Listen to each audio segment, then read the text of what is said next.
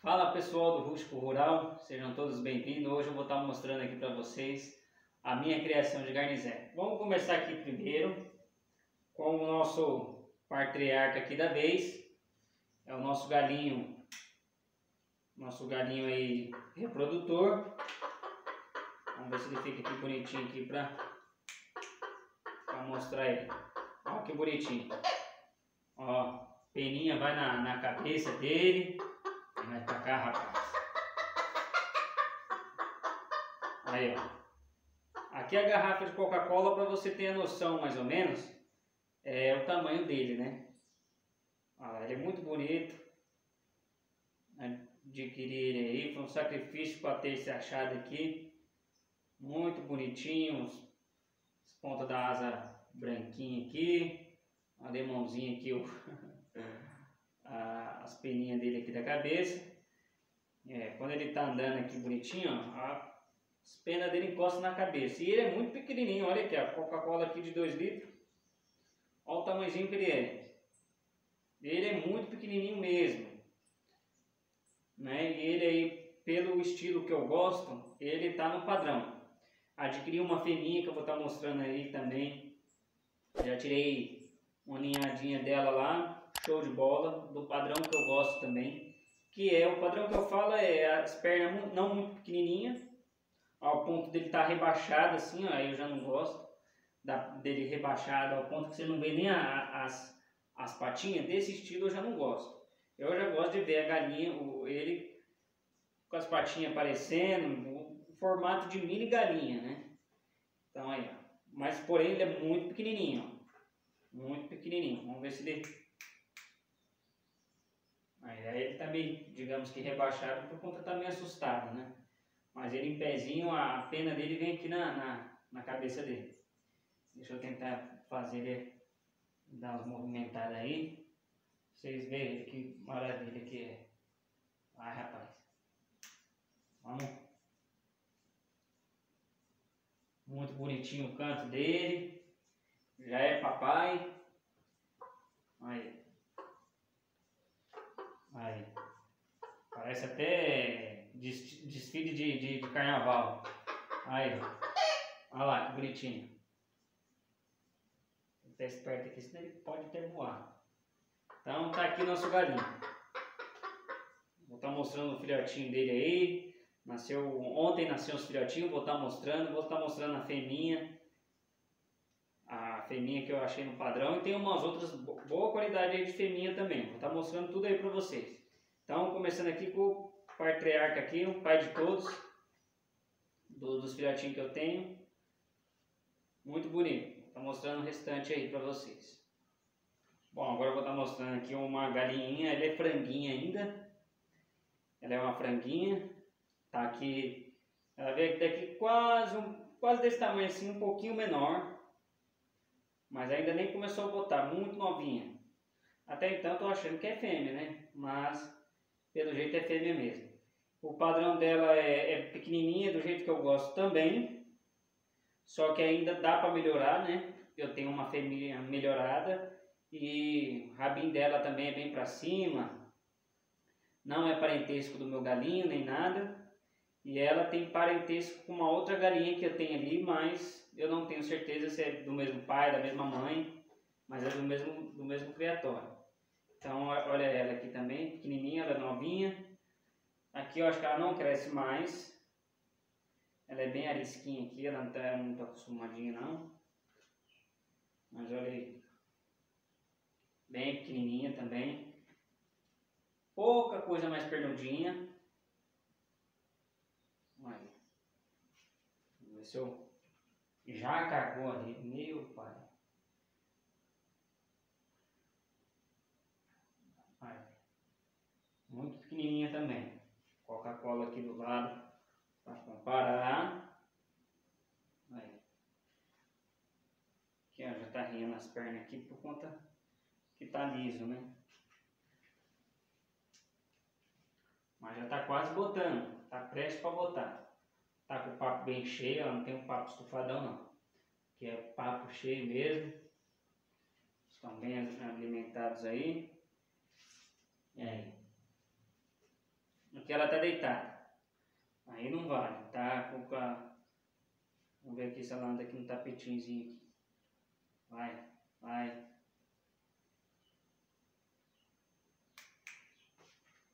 Vai bem arisca. Novo aí não, viu? Mas tá aí, pouco. Quero deixar ela bem pezinho aqui, mas olha lá, ela é pequena. E ela vai dar, vai, vai ficar legal porque ela é da cor bem parecida do machinho. Então os filhotinhos vai ficar bacana também. Vai puxar o macho lá. Eu queria que ela andasse empinadinha para você ver o, ela com, com os. Aí, ó. Mais ou menos isso. Muito pequenininha também. Ó, você vê que é um, um cotoquinho, né? Olha lá. É um cotoquinho. Aí, é esse aqui. Tá quase do tamanho do macho. O macho, é claro, é um pouquinho maior, é claro. Mas eu acredito que ela não cresce muito, não. Ela já está quase para botar. Eu pegar a próxima lá para vocês verem. Franguinho ainda. Bom, essa aqui é do mesmo criatório lá da, da galinha que eu mostrei aqui anteriormente. Ó, ela é um pouquinho, ela já não está no padrão assim que eu, que eu quero, ó, perninha um pouco alongada, pouca coisa também, é das pequenininhas, entendeu? Esse aqui já, já é de, desse padrão aqui já é difícil encontrar, entendeu?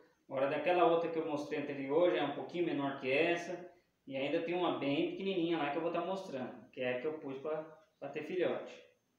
Ó, ela tem uma coloração muito bonita, que é o preto, né? Eu gosto da de galinha preta. Se ela fosse toda pretinha, eu gostaria mais ainda. Eu quero ter uma toda pretinha. Tem umas pintinhas aqui branca aqui no peito, ó. Muito bonita. E eu sei quem é o, o pai dela, o machinho é muito bonito. É um machinho preto, todo pretinho. Muito bonito, gostei dele. Igualzinho o meu, do tamanho do meu. Só que a diferença é preto. Só que o meu galinha é de outro lugar que eu consegui adquirir. Olha lá. Tá mostrando ela aqui. Já limpei o cocô da outra. Ela é ótima para você colocar para chocar. Não sei se ela é uma boa chocadeira ainda. Não coloquei. Ela não, até agora não botou. Ela é nova aqui. Pezinho bem amareladinho. Gosto do pezinho assim. Ó, pode ver que ela é um pouquinho maior que as outras. O rabinho também é. Que como que elas ficam assustadas, ela não fica com o rabinho direitinho aqui, né? Conforme elas estão andando. É um pouco arisca, não está acostumada aqui ainda comigo. Olha lá. Bonitinho também. Porém, ó, é um pouco grandinho. Logo, quem sabe eu ponho ela para... Eu tiro ovinhos dela. E ponho para chocar. Pode ver que ela é um pouquinho maior. Patinho um pouquinho maior. Só que até assim tá difícil de achar, viu galera? Olha lá. Quanto mais apurado, menorzinho, mais difícil é. Lembrando que aqueles que nem mostram o pé, aí eu já não gosto. Estou dizendo mini galinha aqui, padrãozinho que, que eu, no padrão que eu procuro. Né? Dá para tirar uma, uns filhotes dela e melhorando até ficar mais apuradinho. Então, para quem quer começar, uma dessa aqui é bacana, né? Aqui a parte de baixo ela puxou bem o pai. Ele é, ele é todo preto com umas pintinhas brancas aqui, ó. Uma, uma, um preto vivo, uma cor preta viva. Aqui eu cortei um pouquinho da asinha dela. Acostumando agora aqui. Agora vou mostrar a outra, a próxima. Agora essa aqui é bem conhecida aqui do canal, tem aparecido aí bastante. Ela é mais, uma das mais antigas aqui do canal. Ela e a galinha e a garnizé chocadeira é a mais antiga aqui. Não é muito velha, é uma galinha digamos que nova. Ela está um pouquinho fora do padrão que eu gosto, por conta apenas da canela, que é um pouquinho grande, ó. pouca coisa. Pouca coisa, mas de corpo, ela é o corpo que eu, que eu vejo numa galinha assim, uma galinhazinha que eu gosto. Olha lá, na hora de selecionar, eu procuro um corpinho desse estilo aqui. Claro, o, o, o rabinho um pouquinho mais levantado, melhor ainda. Lá, pode ver que ela, ela é um pouco mais perdidinha. Porém, o corpinho dela, gente, é minúsculo, é minúsculo. Ó. Um pouquinho perdidinha, mas o corpinho dela é excelente. Dá para trabalhar com ela. Não é à toa que eu estou permanecendo com ela aqui. Tirei uma cruza dela com, com aquele machinho, com o nosso galinho, porém saiu tudo pernudo. Eu dei tudo, os filhotes eu acabei dando, né, de presente. E aí fui ver como é que estava depois e ficou bem pernudinho, não ficou bacana não. Mas dá pra gente tirar aí também, selecionar o melhorzinho, né, da corzinha branca aqui assim, ó. Seleciona um galinho ou uma galinhazinha branca,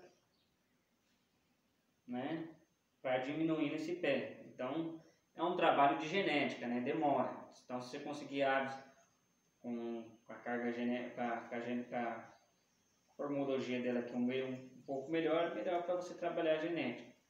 Mas aqui dá para fazer bastante coisa aqui através dessa galinha. Então tá aí, ela é um pouquinho maior, ó. Boa de choca, excelente de choca. Todos os ovinhos que eu coloquei dela mesmo para chocar, coloquei acho que seis ovinhos. Tem aí, não tem vídeo aí, se não me engano no canal, se tiver eu vou estar tá deixando aí para mostrar para o pessoal, para vocês aí. E eu notei uma coisa diferente aqui nela. Tem uma pena aqui, ó, não vai dar para mostrar, mas tem uma pena aqui que tem uma pintinha preta. Pensei que fosse graxa, mas aqui não tem nada para sujar na graxa. Ela tem uma peninha aqui preta, não sei se vai dar para ver. É uma pintinha preta aqui numa pena. Interessante, descobri esses dias. Tá muito bonitinha a crista dela. O machinho que nasceu, ela vai sair com a crista muito bacaninha. Ela tem a crista comprida. Ótimo de choca, ótimo de choca. Coloquei seis ovinhos, os seis nasceram. Então aí tá aí. Muito bonitinha também. Agora eu vou estar tá mostrando uma das melhores galinhas aqui já no padrão que, que eu gosto, né? A toa que eu já coloquei para tirar uns pintinhos. Vou trazer. E depois aguarde para o próximo vídeo.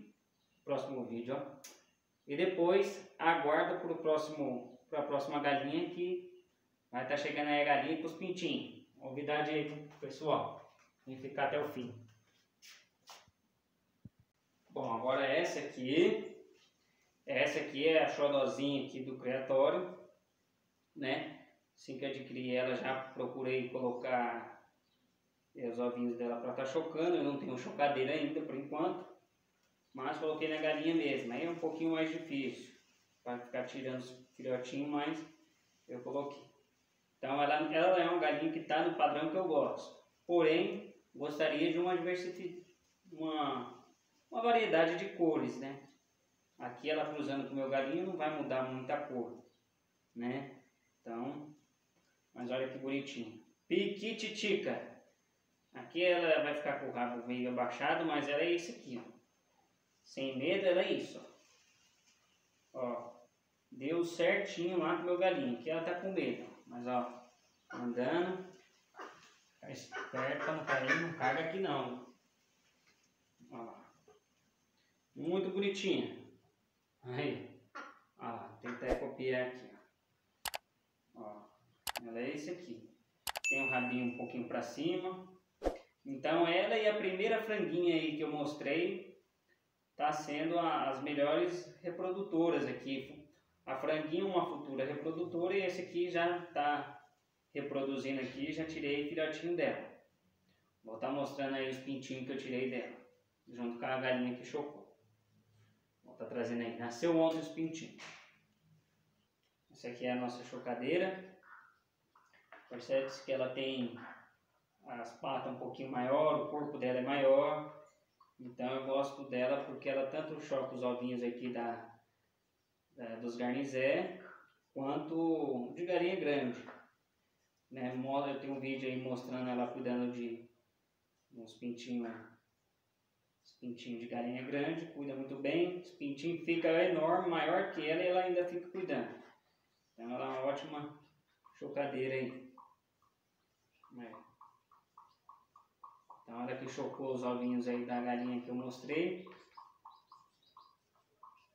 Ela é bem brava, por quem ela, por quem ela não conhece. Comigo aqui ela é mansinha. Mas quem não conhece, ela é uma fera. Agora eu vou estar mostrando aqui os filhotinhos.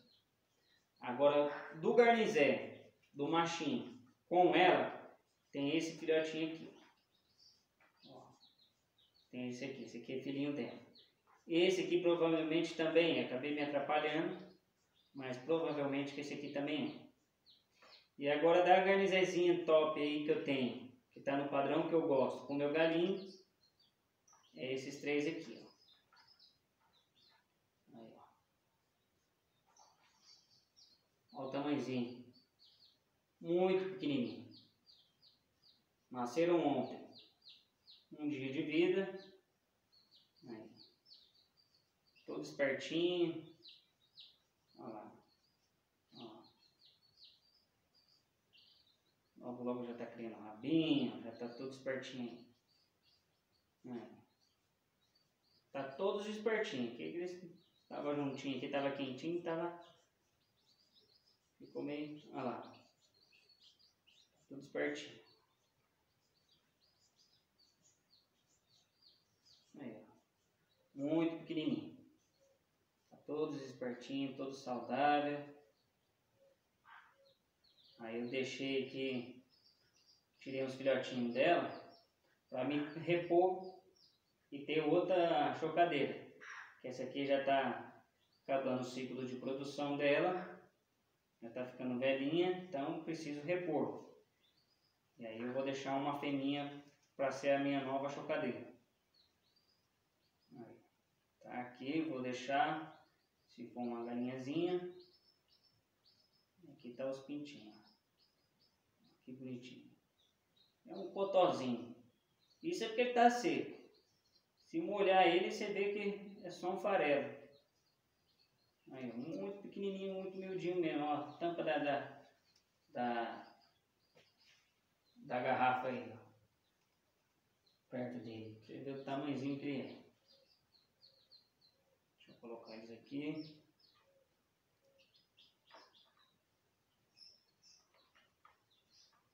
Está mostrando aí os ovos, o tamanho do, dos ovos deles, delas, né? Então é isso. Ó, agora eu vou estar tá mostrando os ovos delas. Aqui é uma, um ovo de galinha caipira normal. E aí eu reconheço apenas se eu olhar o ovinho, o ovinho lá na hora que ela tiver botado, eu já sei quem é que botou. Porque aqui eu já estou acostumado. O ovo da garnizezinha que não tem nome ainda, mas é a mãe dos filhotinhos que nasceram, ele é, parece uma coxinha. Parece uma coxinha, não sei se vai estar tá dando para ver legal aí, mas ele parece uma coxinha. Todos eles, pequenininhos assim desse tamanho, olha lá, e parece uma coxinha. Agora,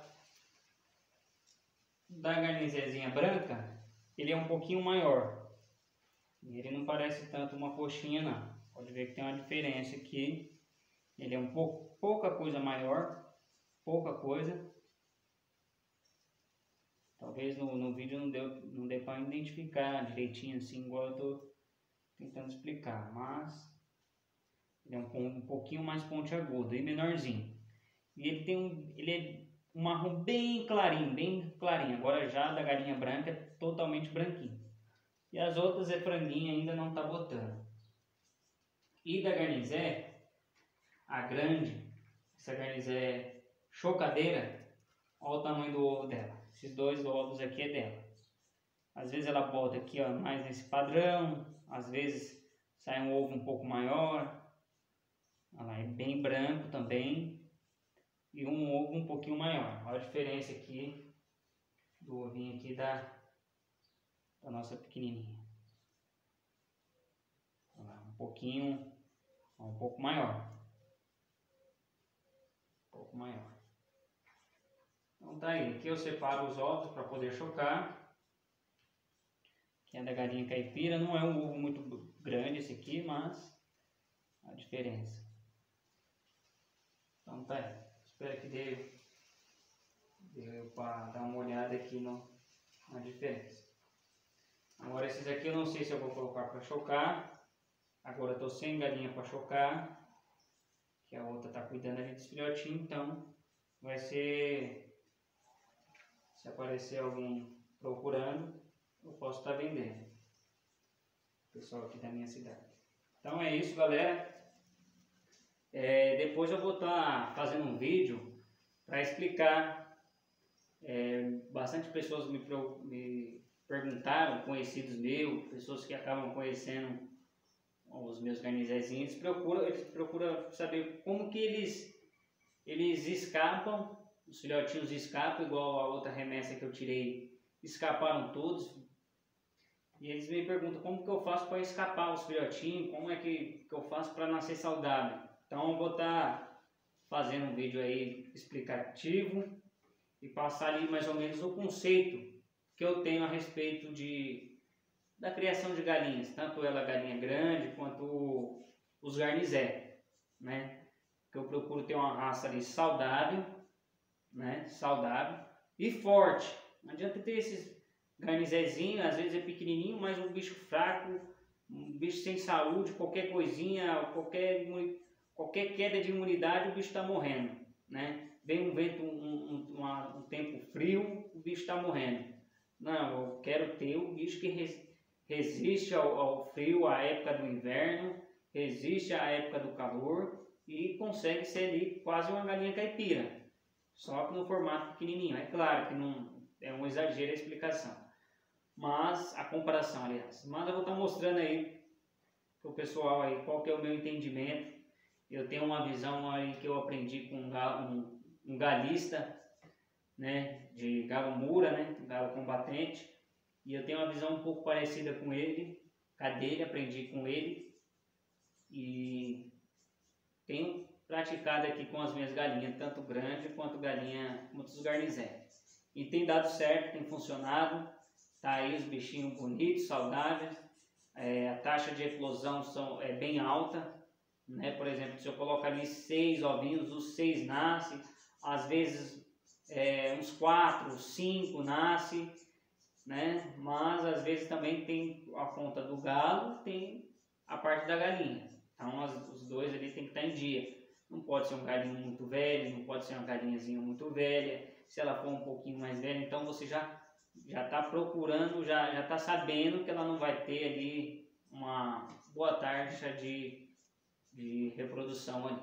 Então é isso, espero que vocês tenham gostado. Deixe o like, ativa o sininho, compartilha, curte nós aí, ajuda nós aí, meu. Então, curte a gente aí, dá uma força aí pro canal. Tamo junto, falou e fui!